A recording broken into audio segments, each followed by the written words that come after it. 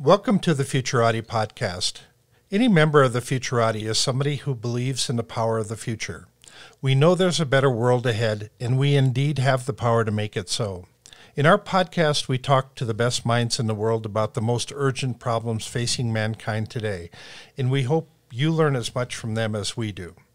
I'm Thomas Fry, a professional futurist and keynote speaker. And I'm Trent Fowler, a machine learning engineer and author. Thank you for joining us.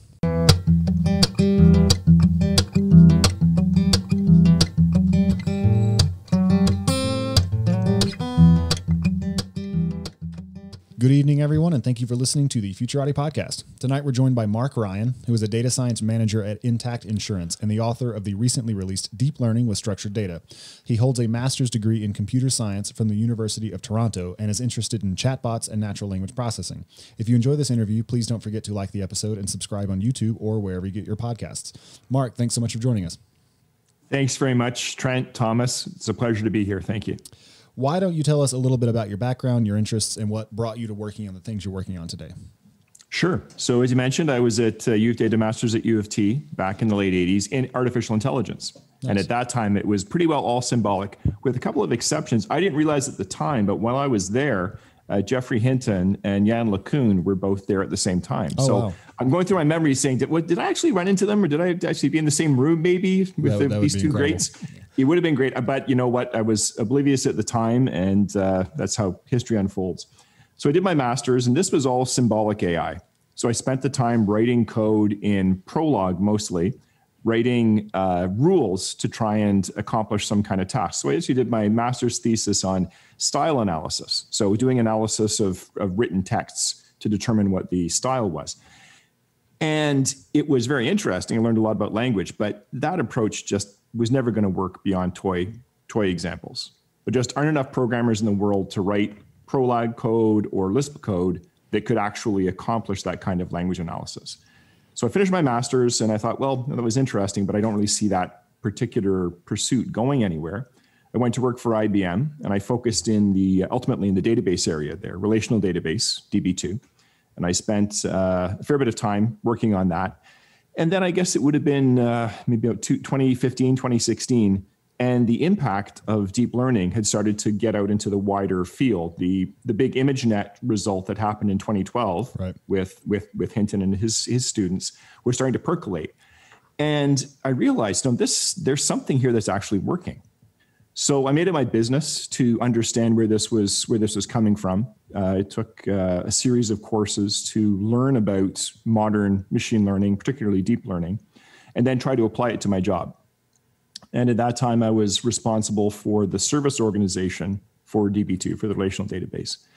And that resulted in this huge uh, exhaust stream of data. So every single time a client would have a problem, there would be a record recorded in a database to say what was the nature of the problem, description of the problem, the severity of the problem, uh, where the client was located, who the support agent was who worked on the problem. So all of this this rich data about about problems. And I took a couple of attempts of applying deep learning to this body of data to try and get some insights. For example, could we predict how long it would take for a problem to get solved based on this data? Or could we predict if their customer is going to escalate a problem? And you know, this is uh, you know, in, in the course of uh, trying to apply this, I, I came to realize that there was a lot of resistance to using deep learning on structured data. That's data organized in rows and columns, which is the kind of data that I worked with every day and this is stuck in my head. I thought, well, this, you know, deep learning certainly had big successes with audio data, with visual data, with other kinds of, you know, essentially unstructured data. But there doesn't seem to there seems to be this real resistance to using it with tabular data. So I, you know, I kept uh, kept pursuing it, kept applying what I had what I had learned, and ultimately um, writing about it.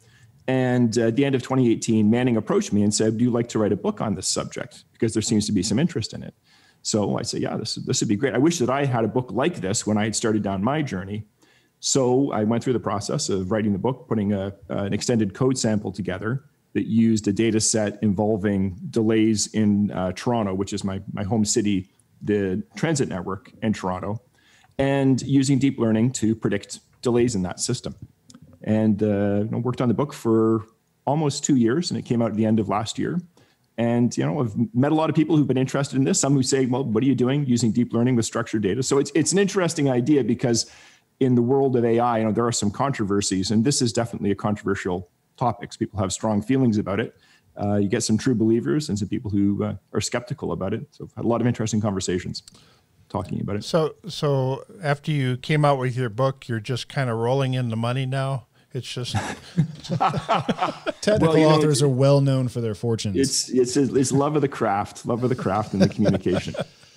All right, so I I'm sort of I, I'm very interested in the problem domain. So if you had asked me three weeks ago before I started prepping for this interview whether or not I had done deep learning on tabular data, I would have said yes because we pull data down through data frames.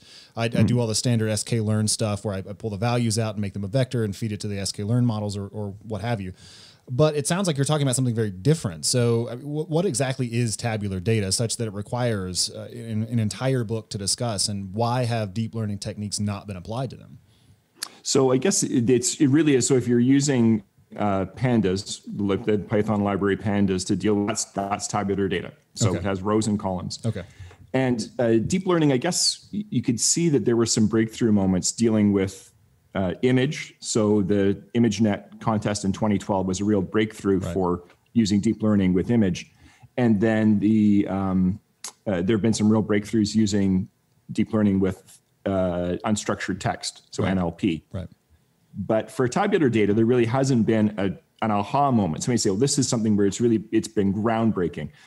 And you compare a, a deep learning approach to a traditional machine learning approach, like using uh, XGBoost, for example, or another tree-based model. Sure. And, and you look at uh, Kaggle competitions, for example, which are sometimes used as a, sort of a, a benchmark for what the right approach to use is. And you know, the, the fact is, XGBoost is, is the go-to approach in Kaggle competitions dealing with tabular data. But not all tabular data sets are, are the same. And uh, the, the, a comparison made in 2017 between deep learning and we'll call them traditional machine learning approaches, you could see that the traditional approaches would be better because they're simpler, you get results faster, the performance would probably be uh, better, and the deep learning had a, the the frameworks were, were just difficult to use. So why do something? Why do it the hard way? Right when you could use a tree-based model and get and get results that are as good. Well, since 2017, the deep learning frameworks have gotten a lot more accessible. So you have uh, FastAI, for example. So FastAI is built on top of PyTorch, and it's it's a great framework. It really gets you literally with just you know half dozen lines of code, you can get a working deep learning model. And they've made tabular data a, a, a full citizen. So they talk about four types of data they deal with: visual data, uh, collaborative filtering systems, text, and tabular data. So they set up, they have a, APIs specifically for tabular data, and you can get really, really decent results with tabular data using, using fast AI. So it's sort of a. I, I think when the argument I make in the book is it's not the idea that they're saying deep learning should be used for every tabular data problem. It's that deep learning shouldn't be excluded from the world of tabular data. There are there are particular data sets, particular problems where deep learning is worth a worth a look. And because the platforms have become easier to use, that old objection to say, well, you could use uh, an API in sklearn and it's just it's just rather in, in scikit-learn, it's easier. Well, you know that's not really the case anymore. When you can you can get a decent deep learning application, for example, with Fast AI, with just a few lines of code. So, so is that mostly what was driving it? Just the APIs weren't there yet, and so it wasn't accessible, and there was just no real reason to build a, a, a deep learning model to handle these sorts of data sets when you could just do it more easily with XGBoost. I think that was yeah, that was part of it. You can get good results with XGBoost. So if if at the time, particularly 20, 2016, 2017, deep learning was harder to do, then why not take the easier route? And I guess you don't have that that lighthouse accomplishment to say, well, deep learning just blew away the competition. Right as it as was the case for um, uh, vision data or audio or text. People were reluctant to use tabular data. Another thing I've seen is there are people in industry who are definitely using deep learning on tabular data, but it's all behind the firewall. So there are a lot of uh, financial institutions, for example, that are using it, but that can't be put on a you know you can't open source that. You certainly can't open source the data the data set because it's it's the company's crown jewels. Right. So I you know I've, I've talked to some folks who are doing work. They're, they're, this is the work they're doing on a daily basis, and they're a little bit frustrated because they don't they what they're doing doesn't get the attention that it could get if they could actually share the data set and be more open about what they're accomplishing. So, what are some of the kinds of tabular data that are especially amenable to processing with a deep learning model?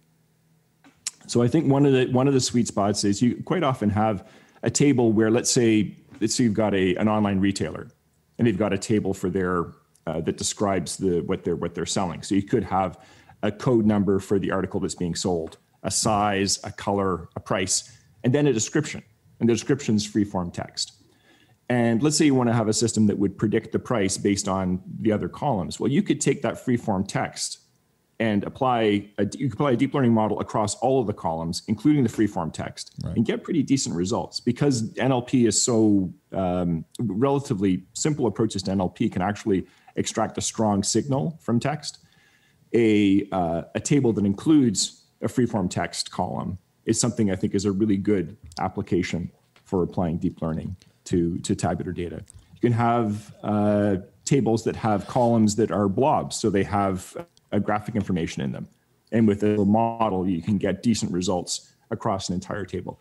And it's really that flexibility. Uh, the, the model, the code structure that I have in the book it uh, it's it's fairly flexible. So it just looks at all the columns in the table, doesn't doesn't have doesn't have particular table structure in mind, and then designs the layers for the model based on the types of the columns, which means that it's quite flexible. If the if the table gets bigger, if it gets more complex, you get more complex types of columns. It can adapt to that. And XGBoost, which I compare in the book, I compare an XGBoost result to a deep learning result to do an apples to apples comparison. XGBoost doesn't have that kind of flexibility for more complex uh, tables. So I'd say more complex tables, tables with more columns, and particularly tables that have uh, columns with text or, or, or blob data in them are kind of the sweet spot for applying deep learning. So it's, it's mostly data. a flexibility thing then, right? So, so you've got these, you've got these models, you've got these uh, tabular structures with columns that just are not well suited for um, for, for which XGBoost is not a very good model, like text data yeah. or image data or something like that. And so, are you building are you building a single model with multiple layers that handle each of the different data types, or is it an ensemble of models, one component of which is a is a deep neural network processing the the appropriate columns? It, it's a single model. It has different it has different sets of layers depending on the column type, but it's all a single model and then the data gets fed into the different sets of layers and you get a result back this is written in keras and it's a it's right. a real testament to the, the the brilliance of the designers of keras and francois chollet right. and those guys yeah, how easy it is to build this system to, to say out for this for this class of columns i want this set of layers for this class i want that set of layers and to assemble that together and, and, and to get out a useful result so it's yeah it's a single model but it has different different layers depending on the the type of column so I, I was going to step you into the future. Let's let's go 20, 20 years into the future. Yes. And uh, you have somebody that's walking into a robot store, and they they have different ratings on the robots, depending on um, uh, how how intelligent and how bright they are. And I've been speculating on uh, that we're going to come up with a rating system similar to um, horsepower that we're going to somehow rate the artificial intelligence in each of these robots. And so I, I base it on this notion of a human intelligence unit. So the equivalent to one, uh, uh, one HIU would be one human intelligence unit. So some robots are rated at 2.4, some robots are rated at 8.3, or uh, and, and some of them are 0.62, depending on what your application is. And uh, how, how likely do you think that some sort of a rating system like that will happen in the future? And is that a good way to approach the, the thought process on future, future intelligence in machines? It's a really interesting idea. I, I think the idea of measuring intelligence, particularly for artificial for not human beings, but for human what humans create, is tough. Even defining what intelligence is, but being able to have something you can actually make a comparison and say, well, how flexible is uh, is a particular robot or a particular model? What what kinds of problems given a given a benchmark? how quickly can it solve the problems in the benchmark? I think that would be very useful. And the other thing is you could see the, the example you provide of somebody walking into a store or going to an online site in 20 years they'll want to be able to say, how do I compare these two things? They don't want, they don't want to have a manifest of 100 different characteristics like uh, buying a computer in 1992 and say, well, I don't know. Right. Is it good?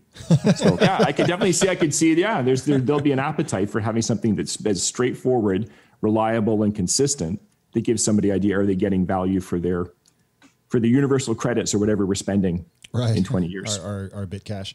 What, what do you think would go on uh, the the suite of benchmarks that a a robot or an algorithm had to, to go through in order to have its intelligence its intelligence assessed?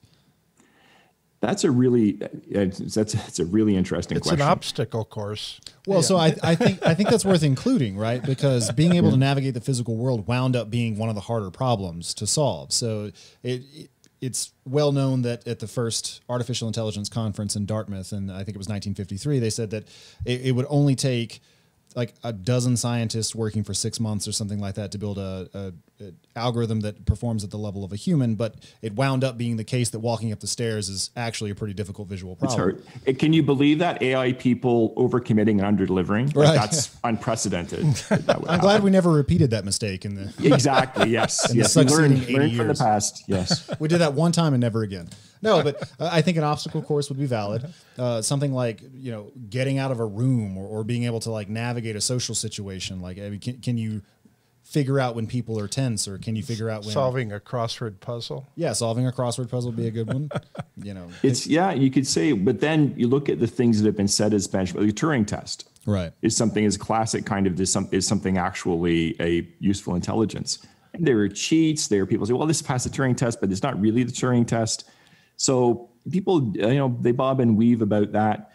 Uh, being able to beat a, a, chess grandmaster was supposed to be a grand challenge. Right. And IBM, the company I used to work for, just said we're we're going to back up as many trucks full of cash as we have to to get this done. Yeah. All the hardware in the world, just going to brute force our way and do it. And yeah, it succeeded, but was it really that was it really that important? Right. So I, I, think it's a it's a it's a difficult thing to say. What's a test that's actually going to remain meaningful and is going to provide a comparison? I think it's really it would be really really useful as a consumer. That's exactly what you want. You want a simple way to determine whether I'm getting value for my money. But I think it's going to be difficult to have a test that that lasts and that doesn't provide a way to there's there's some kind of shortcut right. that does really well on the test but doesn't actually provide the value that you think you're going to be getting. Yeah, I don't want to leave my baby with this robot. Yeah, yeah. Well, it might just have some truly bizarre failure mode where it encounters a boundary case that that was not in the training data, no one could possibly have foreseen, and it winds up not having the flexibility you thought it did because it made it all the way through your benchmarks, and yeah. it's some you know 10 quintillion parameter neural network that just blew blew everyone's mind when it came out. But in this one thing it made a mistake that a human would never make. And now your you know kid is floating in a pool or something yeah. Yeah. And, and i mean building on some of your comments there, there are a couple of interesting philosophical questions there. And, and we keep coming back to this with the turing test is whether or not being able to fool a human is the sort of standard that you want to have an algorithm meet.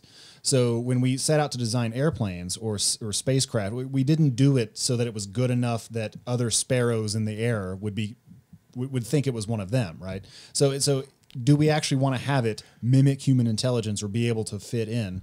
Uh, do we want that to be the, the test that we want to that we that we want to have it pass? And then the other thing that that I thought of as you were talking is that it wound up being the case that quite a lot of problems that we thought would require really serious breakthroughs in algorithms or an understanding of intelligence were amenable to brute force solutions. Yeah. So it turns exactly. out that if you just stack enough neural networks and you just throw enough data in there and you just do enough alpha beta pruning, you get something that can beat Garry Kasparov at chess. And I think Go was a little bit different, but even that's just a, from what I understand, just a huge convolutional neural net.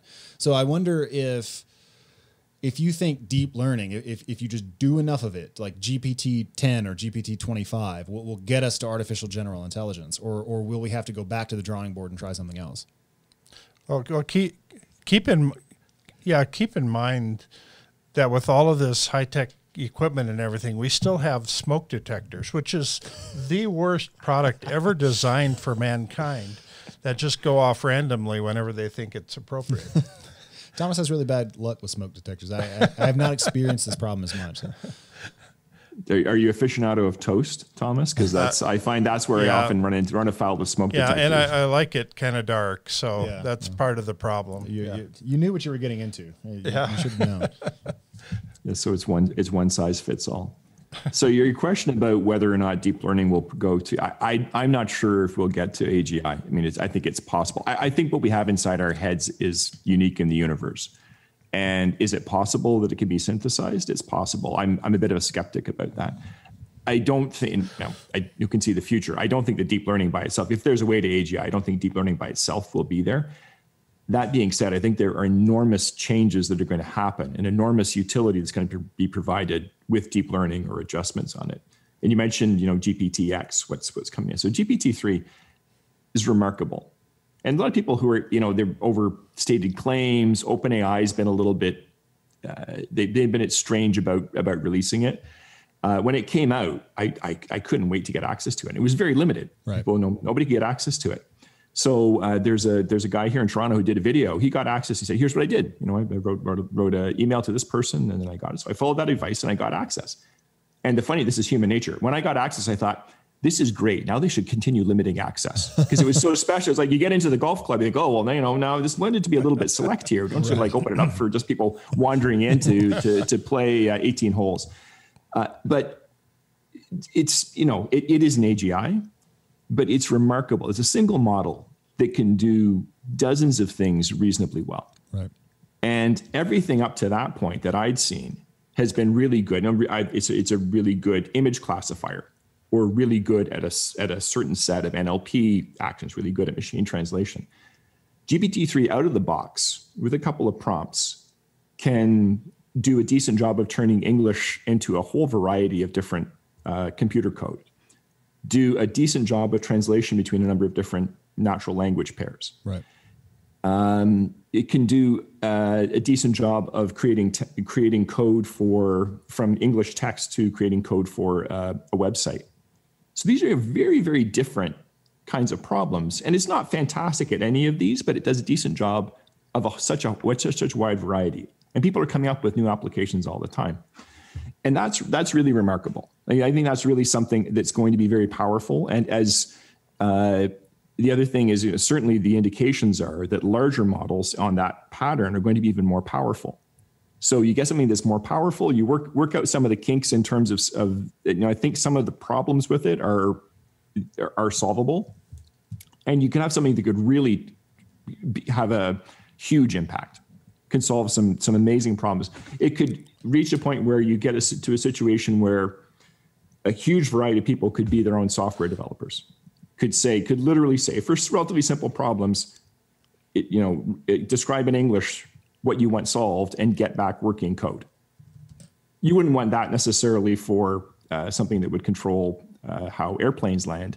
But for a lot of you know a lot of applications it will be certainly good enough and people can have things that are customized for their particular problem without having to know how to code and that i think will be really remarkable so uh, yeah. So, and that's just one one direction. I think that uh, self-driving vehicles, for all of the all of the missteps and all of the over you know over committing and under delivering that's happened, I think over the next three or four years we're going to see much much more of people driving more and more kilometers or miles in the states, uh, self-driving, and that's going to be a just remarkable change. And that's for the most part, most of the places where that's really going to make a difference is based on deep learning.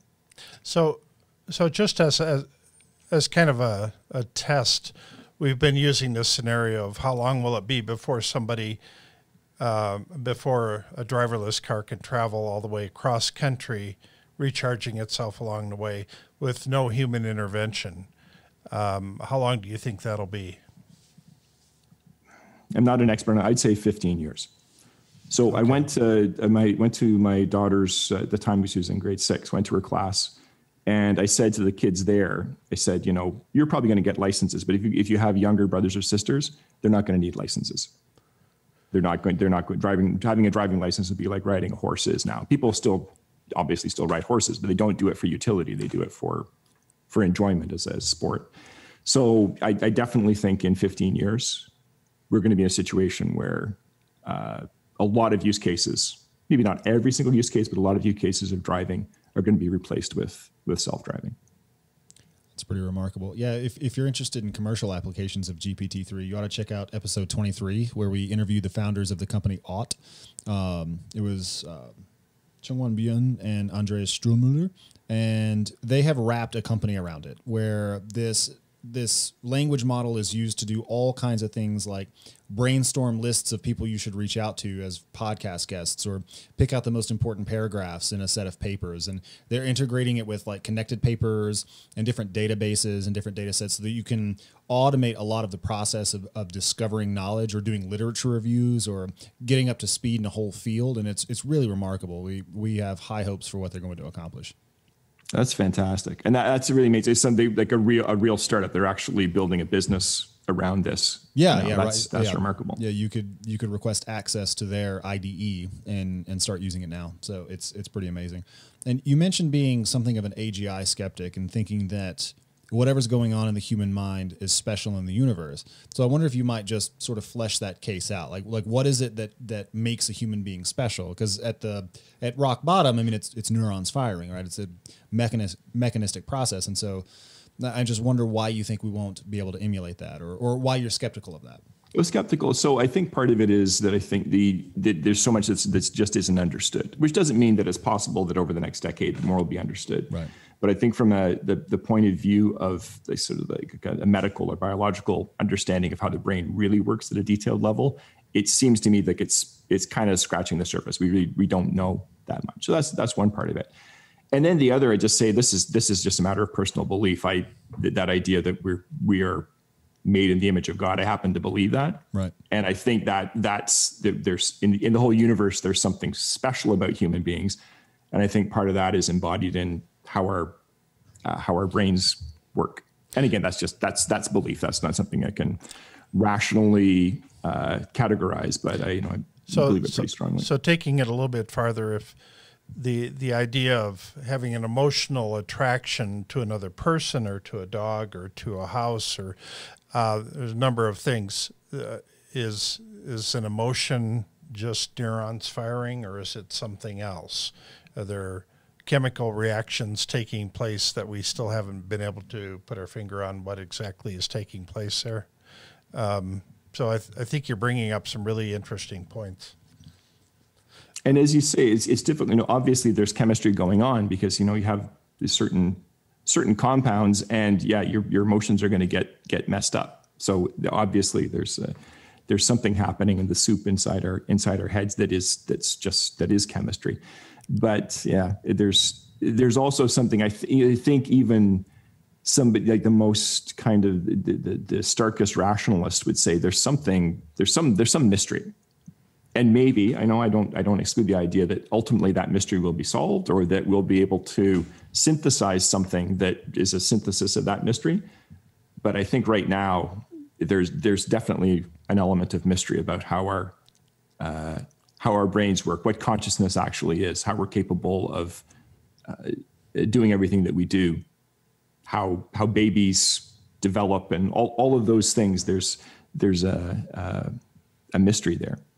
It, it's interesting you bring that up because even with a model like a convolutional neural network, there's often a lot of mystery in there too. And it's certainly not a mystery of an equivalent size, but yeah. it, it turns out to be very difficult to pin down exactly what it is that's happening inside that model that allows it to tell, you know, chihuahuas from muffins or, or whatever task yeah. you set it to do. And, and there's a whole industry around making that that process legible and inspectable. And I wonder if we might not be able to take some of that to neuroscience and have more cross pollination between those disciplines.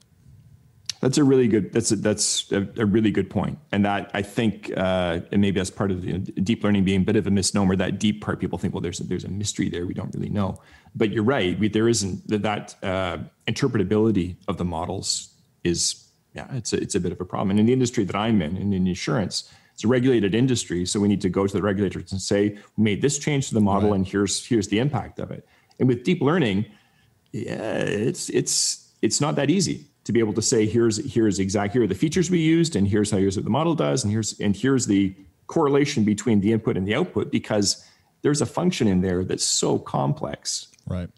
there's no no no no human would be able to complete would be able to in detail describe what it does. Right. And, and it's remarkable and, and somewhat analogous to the situation in neuroscience as well, because on some level, we know that it just has to be this thing fired or it didn't. And we can describe the math and we can write the equations down. But somehow, when you stack the layers and you train it for a while and it makes a lot of internal updates, something sort of comes out of that that doesn't seem to be cleanly reducible to the math, or at least not reducible in a way that's just you can write it out on a chalkboard and predict what it's going to do. It, it may yeah. come down to math, but they still behave erratically and are behave erratically. And if you, I know if you've had this experience, Trent, when you've been working on something and it it actually does something you didn't expect, right? And there's nothing. It's not like uh, supernatural, but you're thinking, right. I, wow, I didn't actually code that, right. and yet it's capable of dealing with that situation. Yeah. And I don't know if you've had that ex- if you've had that experience, but it's yeah, it's kind of a, a shiver up your spine. Oh yeah, most code, most code is just it's hard, it's hard graphics. Oh, just pound, pound, pound to get it to work, and then something that works when you didn't expect it to. Right. Wow. Yeah, it's a nice feeling. It, it, yeah, it's, it's pretty remarkable. And I wonder if, uh, given that you you work in insurance, it's a regulated industry, and you have to think a lot about model interpretability and how changing one thing impacts lots of other things. Like, what what are your approaches for elucidating the inner workings of the models that you build? As we recently did a big project at the company I work at, and we used SHAP and Lime and a bunch of these other models to kind of get in there and figure out what this model's actually doing with this row in the data frame, uh, because the higher ups wanted to know those things as well. So, given that you've got a lot of experience in this this area, like, what are the ways you approach that task? So it's it's some of the I mean there's there's some standard sort of approaches such as such as you've described, and some of it's kind of working backwards to say this is what the reg in, in Canada the insurance industry is regulated by province, so there'll be multiple different regulators who will have different things they're looking for. So part of it is looking at what uh, what they were looked at last time, the kind of questions they asked last time, and trying to uh, elucidate that. And the other thing is we're it's kind of a uh, you're on a you, you've reached a uh, a step on the, uh, the, the elevation that you're safe on because the the last model was accepted, and you're talking about uh, potentially uh, a small number of changes to get to the next model. I see. So, so you really we're really focusing we're focusing on the delta between the previous version, which was accepted, and the next version. That's sort of the uh, the key thing we want to help the regulators to understand. Just kind of build it up very slowly and make small numbers of changes and try not to lose track of where you're at. Exactly. Exactly. Yeah. So we've talked about GPT-3, we've talked about self-driving cars, and we brought up AGI. So what are some of the frontiers of deep learning that excite you or scare you? Where do you think the field is going over the next, like, say, 10 or 20 years? So um, I think one of the things, and I think when you asked before about whether deep learning would lead to AGI, one of the limitations is that you've got the um, there you can have some priors. So you have, for example, in CNNs, you have priors about the way that images are put together or what, what's significant about, about images. But to a large extent, you've got your it's like you're you're teaching it with not with nothing to start with. So you're certainly not starting with like the rules of physics, for example, or uh, other kind of axiomatic ways that the world works. So I think if there if it were possible to have a way that those those axioms could be learned. I think trying to code the axioms, going back to the way things were in the late 80s, where people are pounding out thousands of lines of Prolog code of rules to describe how something works. I don't think that's the way to go. But something that could uh, programmatically and automatically uh, sort of gather rules about how the world works and combine that with the way we're doing deep learning right now, I think that would be really powerful and I've heard some people talking about this at a very high level, and it, it just sort of in a in a very general sense. But a system that could that could concretely do that, I think, would be really really powerful. Make up for some of the the limitations right now with deep learning.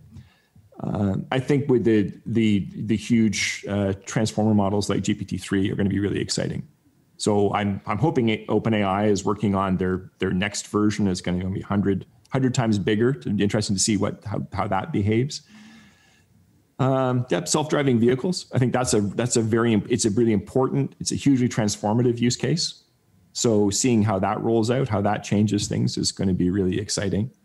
And then I think even just the kind of the bread and bread and butter deep learning, there are all kinds of ways that it hasn't been applied yet, where it could be applied. And the thing I think is I mentioned fast AI uh, at the beginning having frameworks that make that more accessible makes it make it possible for people who aren't like deep deep specialists to actually take advantage of this power that's going to be really interesting as well Yeah. So, so we've been we've been speculating on um, uh, the idea of having an autonomous vehicle traveling down the road, and college kids wanting to kind of screw with this vehicle to see if they can throw it off somehow, and uh, taking barrels full of ping pong balls up onto an overpass and just dumping them off just to see what the driverless car will do with it. But then if if you take that analogy to different levels, what what, what would it do if you dropped a barrel full of worms on it or a barrel full of uh, uh, I don't know badgers or uh, or turtles or there, there's any number of things that that you could dump off of there. Just The local pet stores are just like, why are you buying barrels of these yes animals? yeah how many corner cases do you want to exploit here yeah, all these edge cases. So uh, I I don't know. It, uh, I'm I'm assuming that the kind of the the designers behind all this have to think through these weird edge cases that maybe it's one in one in a, a billion uh, times that they'll run into it. Well, and, and thinking through it in this context is actually a little complicated because it's not just a matter of going through and saying, okay, well, if it's a barrel full of badgers, then we draw the line there, but worms and ferrets are fine. You can run over those things. It's you have to construct the training sets such that the models will learn those rules themselves. Like that, that's really part of the difficulty. And, and there are all sorts of famous examples in the history of deep learning and machine learning where they screwed that up. And one of the, one of the most infamous, uh, infamous is where they, they were trying to train a, a tank detection algorithm and it, it was getting pretty good results, but it turns out that all the pictures of tanks were on overcast days. And so it was just finding that feature. And it, it doesn't take very long of working in machine learning to realize how difficult it actually is to get a training set that encompasses even a moderate range of the boundary cases that this thing might encounter out in the wild. Yeah it's easy to get you to kind of lull yourself say well it works well in training set i've got so it'll work well in the real world Right. I, I do know that just based on interviews I've heard that Tesla really focuses on the edge cases. So there's there there a lot of what they're gleaning from the the millions of of images that they're collecting from their fleet of cars is you know like a, a stop sign that's that's partially covered or a, a sign that says stop that isn't actually a stop sign or those those kinds of uh, traffic artifacts that are that are edge cases. Now, the interesting thing is they're what they're not looking for, I would imagine, is a, a, a bucket of ping pong balls dropped on a car from a bridge or a bucket of badgers. So that's that kind. I don't know what they're doing for that sort of um, adversarial situation. Somebody actually concocting something to mess up a self-driving vehicle. Yeah, but a more realistic situation would be is if you're let's say you're driving through the mountains and it starts snowing and um, autonomous vehicles at a certain point will lose their ability to function. And so they will um, err on the side of caution and will likely pull over and stop at a certain point when it gets too dangerous to move forward. Now, if it continues to snow for the next three days, you might have 10, 20,000 cars all pulled over on the side of the road going nowhere. Uh, how do you, how do you work your way out of something like that? I think that's actually a realistic situation. Right. That is, you know, you have once in a you know once a century kind of weather situations. They happen. They do happen once a century. And how is a vehicle a vehicle that's designed to provide safety for the general case? How is it going to behave in the once in a century case? Yeah, do you have to go into the trunk and get out the damn steering wheel and drive it yourself?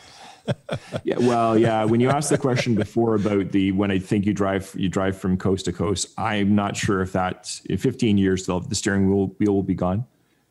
It may the controls may still be there for emergency situations potentially. Yeah, well, some of those cars may not have drivers too. So, so half may and half may not. I mean, some of them may just be doing standard transit routes or delivering packages or dropping off tacos or Right. whatever self-driving cars are doing. So, yeah, I mean, you, you could have, you know, the sorts of traffic jams that w- would just haunt your nightmares in the future with with self-driving cars, if, especially if, if they're communicating with each other and, and they're all clustering in some weird way. That could be hugely problematic. I'm glad we have Elon Musk thinking about this. Yeah, yeah, day and night. Yes, he's a hard working guy for sure. So on your YouTube channel, you posted a review of Cade Metz's book Genius Makers, which is a, a history yes. of artificial intelligence. And I also find the history of different technologies really fascinating. So I wonder if we could spend some time talking about that. Like, what did you glean from that book? And, and, not necessarily that book in particular, but I assume if you read the book, you've thought about it as well. So what, what do you get from studying the history of artificial intelligence? Well, I had been looking for something that was a good history, partially just to fill in gaps in my knowledge. And I think history is a good way. History of science is a good way to understand how things understand it better, to see how did the technology develop. And I had I had uh, purchased. I won't mention who, but somebody had written a history. Uh, it came out uh, last year, and it wasn't. I, I, didn't find it all that satisfying. It was much more technical than than Cade Cade Metz is. He's, he's a journalist. He's not a technologist. Uh, so this other history was quite technical, but it really wasn't very satisfying. I think it sort of missed the point. It missed what I saw as being some of the main players, and got lost in the weeds. I I cannot uh, praise Metz's book highly enough. It's a great read. He's a really good writer, and he tells the story in a way that's that's quite light. And I have to say, I, I mentioned being at U of T, where some of the, when some of these luminaries were around. They and I've you know been in the same room as Hinton, but I've never I've never talked to him, never met with these folks but they I don't they don't seem like like huge personalities. They're they they've done they've done some things that are world changing, but they're not they're not huge personalities. And Metz has managed to make know, take these, these folks and make them very interesting. So he's fi- he finds an angle to say, here's the human part of the story. Here's where some of the competition happened. Here are some folks who sort of got left out of the limelight. And then uh, Peter Thiel and Elon Musk drop in. So there you've got some big personalities throwing furniture around and, and doing some exciting stuff. Right. So the way the story is told is really interesting. And I think it, it, he, he highlights some of the things that are that are important without overstating it. So he's not talking about you know the uh, uh, Terminator and Skynet. He's not overblowing it, but he really is able to describe in a way for an, for a non-specialist audience, for a non-technical audience, why this matters and why the uh, the accomplishments of the people who've done this are important. And you know, it signals a little bit how how things could could change. So it's having something that's well written, that doesn't get lost in the weeds, and actually tells the story, is uh, is really interesting. And I found it's actually been helpful for my job as well. There've been some cases, well, you know, this this is something that's uh, is is is applicable. So yeah, I, I, really I really appreciated it. And I one of the things this was you know um, is, is a little bit uh, uh, sycophantic. But I when I I wrote the review and I said it was very very you know very very strong reviews at five stars. But I did mention that there were some technical things that that weren't that didn't quite come off come off quite right. So uh, Metz actually reached out to me on LinkedIn and said, "Well, well, what uh, what do you mean?" And I was, I thought, so I, I, just, I, was very general. I said, "Well, you know, maybe people who've used TensorFlow wouldn't quite say it." But what? No, no, you got to no, tell me what what did you mean? What do you mean exactly? So then I said, "This this in this specific passage, the way that you're describing the deep learning framework TensorFlow doesn't it doesn't really jive, or it might, it might make sense to a Google audience, but it wouldn't make sense to a more general audience." He was very gracious about that. So that was that was really nice. I mean, to, to actually, I was I was a little bit starstruck to to have like contact with, with this author. Uh, yeah, but it's a it's a great read. It covers the history really well. It's it, it's sober, but it's entertaining, and he makes you know these these characters who may not be the most exciting folks in the world, if I may say so. Uh, finds finds the points of interest and makes it a good read. Yeah, really good storytellers are worth their weight in gold. I think that absolutely being able to bring that to life and, and really just construct it in a way that draws you in and makes you see how important and world changing these things are. Yeah, I'm not sure if you've seen the the, uh, the documentary on Netflix about the uh, the Go uh, oh, yeah. AlphaGo. Yeah, yeah. So that's a that's a great a great example of telling that story of telling right. a, a, technical story. So uh, Metz spends some time in the book t- telling that story because he was actually there. So he tells that story. And at first I thought, well, you know what? I've seen the movie. I don't, yeah, what's this going to be? But he, it's it's a it's a great telling, a great retelling of the story, and he finds details because he was there that weren't necessarily shown in the movie. So yeah, even even when he's even when he was going down a path that was a, that's a little bit well trodden, he finds a way to make it fresh.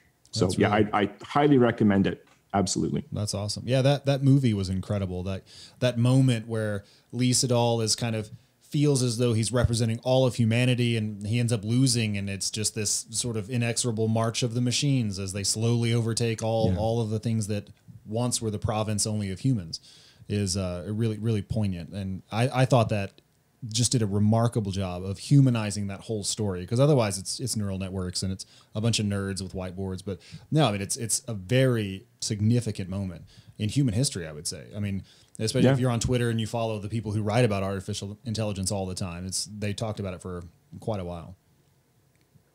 Yes, it was big, a big change, a big change for sure. You mentioned that you had found some places in your work where the book actually helped, and I'm sort of interested in what that was like.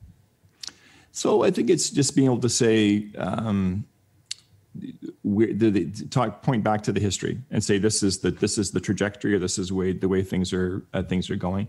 And in, in my work, it's the, one of the things I'll say about about Intact. It's a great company. It's very very focused and really has completely completely all in on data science, on on machine learning and applying it to making things better for our for our clients but not everybody in the business is a, is a technologist. So there are people who are specialists in insurance, specialists in other aspects of the business. And the nice thing about this book is that it really is accessible to anybody. So you can say, well, there's there's a point that's made here, and Metz is such a good writer; he can make these points very clearly. You can say, well, this is you try trying to make a a point about something that's that's potentially coming up or a potential challenge we may have. It can either point to the book or, with proper attribution, uh, quote quote Metz it's uh, it's it's very useful. It helps it helps because it's so accessible to uh, to reach an audience that I may kind of struggle myself getting the point across. So, so it's mostly it's a good communicative vehicle when, when you're dealing with people who interface with the technical world but aren't themselves technical. Exactly, exactly. And then and then the other thing, and they say not just for not at work necessarily, but there are people who are deep learning skeptics. You'd say, why in the world would you need a neural net? Like everything, everything you want, you know, if you can't find a scikit-learn, then you, you, it's not worth doing. Like you can, you can, you can solve any problem you want to solve without having to get into that world of of deep learning. And for for that audience, I think the book explains at a high level. It's not going to technical detail the impact, the fact that this is we wouldn't be having we wouldn't be having this discussion tonight if it weren't for the impact of deep learning. I mean, the explosion of interest in this, this in the general approach is because of the remarkable accomplishments of deep learning, which isn't which isn't to denigrate what you can get from XGBoost or from Right. you know basic linear regression. Those are fantastic tools for the right problems, but the things that have really tipped, the things that have that have uh, sort of uh, turned industries upside down and will have potential to have over the next decade have more of disruptive impact that's it's it's deep learning. That's where the that's where the oomph is. And i think the book really gets that across very clearly that so uh, what's your prediction on how long before um, artificial intelligence rises to a point where the the gambling industry is no longer viable, um, and or maybe the the stock market, the way it currently functions, is no longer viable, uh, because at, at a certain point, all of these things become somewhat predictable. Um, uh, do you have any thoughts on that? That's well, yeah, i keep saying that's a great question. That's a great question. I, I really I, I meant it before but now I really, I really mean it this time. The uh, and it's interesting you combined you you're, you elided very cleverly between gambling and the stock market. And obviously there's a, a commonality there. So i'd say for gambling i I haven't studied it in depth, but a lot of the games that there there's there's an element of chance. So I don't I don't think I mean there's some where there's strategy, and you could see, for example, uh, potentially having a, a system that would give somebody such an edge in poker that they'd be able to win on a regular basis.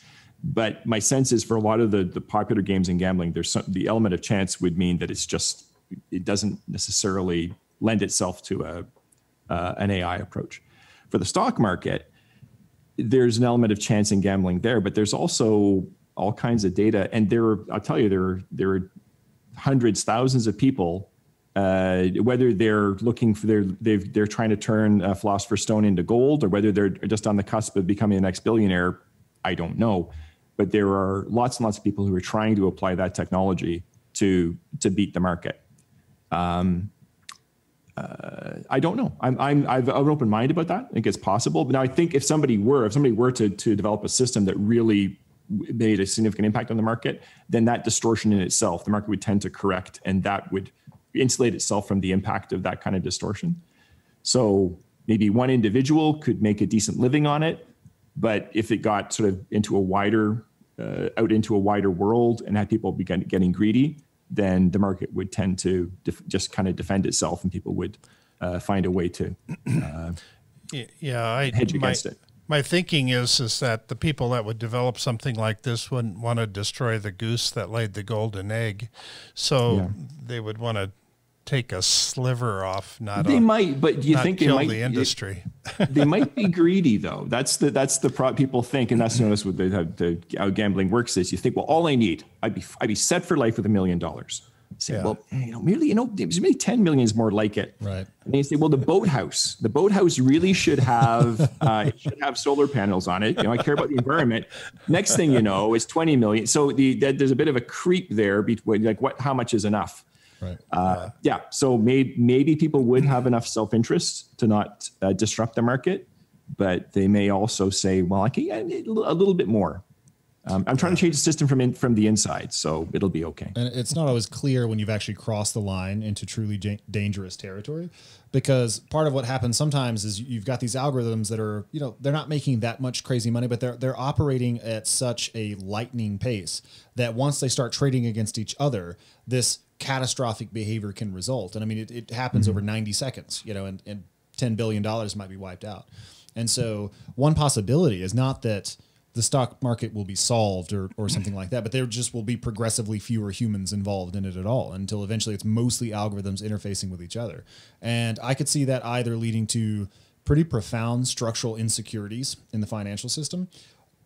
It could also lead to a fair bit of stability. I mean, if price discovery is essentially instantaneous, then whatever the ticker price is, that's what the stock is worth. I mean, these algorithms are trading against each other, and they would have found any discrepancies and any arbitrage opportunities by now. And if they haven't, Yeah. they're not there. You know, and no human's You going just to get total them. effi- you get total efficiency in the market. Right. Yeah. So like Walmart stock is worth hundred dollars a share. We guarantee it because our algos would have found it if it wasn't.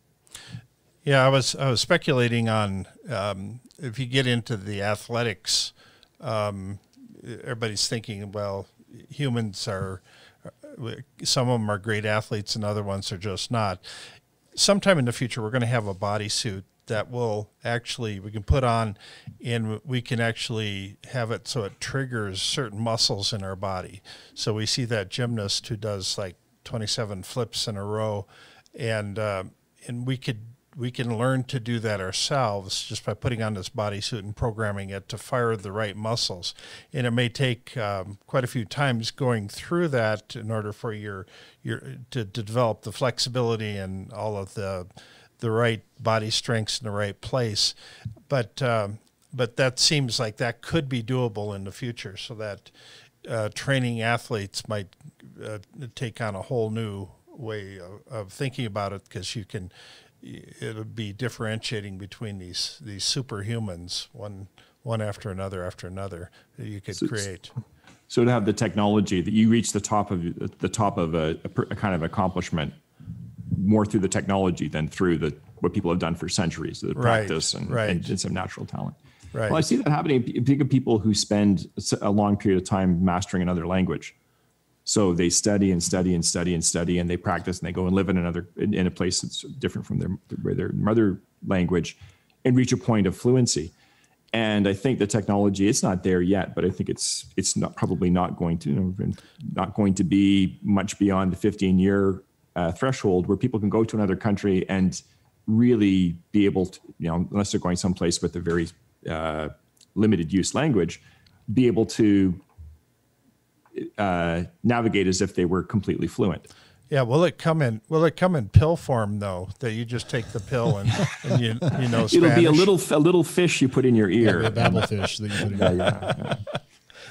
Well, they've had some really interesting demonstrations uh, of that technology, and I mean, I haven't seen it deployed widely, so I'm guessing that they ran into some of those boundary cases we were discussing earlier, and it wound up not being as widely applicable as had originally thought. But yeah, we're we're eventually getting there, and that sort of raises an interesting question as to you know what we do with our mental horsepower once quite a lot of cognitive work is being done by machines. So. Uh, for me, like I, I'm sort of a language learning enthusiast. I've, I've been studying Mandarin recently because my daughter has been accepted into the Denver International School, so she'll be learning Mandarin over the next 15 years or something. And so I, I thought it'd be an opportune moment to pick it up. But for me, it, it really has nothing to do with utility. It's it's not about uh, being able to earn a dollar on it or anything like that. So it, even if all the machines, even if machines handled all the translation work, that's completely orthogonal to my interest in the language. And, and I think that gradually more and more activities which we do out of necessity will become sort of like exercise. Like none of us needs to lift anything heavy for the most part now, but we exercise because we're human beings and we need to move our bodies and we we respond well to certain kinds of stress and it's exhilarating and euphoric and it just feels good to be in shape and to be able to do these things. To overcome things. Yeah. And so I think over time, yeah, more We've had recorded music for 120 years and people still spend decades learning how to play piano and play guitar when there's no, there's not a, like frankly if, if it's to is to enjoy music you can you can enjoy it without having to actually master the instrument. People people still enjoy it. It's part of human nature right. to to uh, to learn that and to explore that. and to expand. yeah. Yeah it's a, it's a I, I think that idea of where humans can make a contribution i think it, it'll be in that case of things that were people like you say people would have to learn for utilitarian reasons and they don't need to anymore that's part of it I, I think there's a bigger picture there is the nature of work in the future Right. that I think the I, I really do believe it's not going to be a utopia, but I think the demand for certain kinds of labor is going to drop. If that, if my prediction about 15 years to be able to have the, the car going coast to coast happens, there are going to be a lot of people who make a living from driving right now. And that's not going to be a, an opportunity. There'll be some, but it won't be the same the same number as, as there is right now. And I think there are other industries where that's going to happen as well. So I, I could see a situation, there's a tipping point where we, there's enough wealth and utility being generated that we not everybody has to work and there's surplus that could be redistributed so that people who didn't have particular skills particular aptitudes can have what they need without having to uh, go someplace and work nine to five which in some ways is great in other ways it's very scary because work isn't just about earning a paycheck. It's Right. identification of, of who you are having self-worth having making making a, a mark in the world. So I, I think that could be very disruptive. In addition to what we do in our leisure time and what we sort of how decisions we make about how we how we apply ourselves it's what it's what people will be doing in in 20 years for work. And whether there'll be work for everybody i think that's going to be a significant challenge Right. So, in the remaining minutes, I wanted to ask you what makes you hopeful. Uh, I, I think the you know the, the technology is it, the it changing you know looking at things just about every week there's something that's really interesting The like like the dropping of badgers on the cars. That's a, yeah that's a fantastic a fantastic example um, the uh, the uh, DeepMind result and I don't understand the science but the DeepMind result in December AlphaFold 2 Right. Is really something it's, just remarkable to have those it's exciting to be working in a field where those kinds of results happen that have potential to be to actually be be world changing.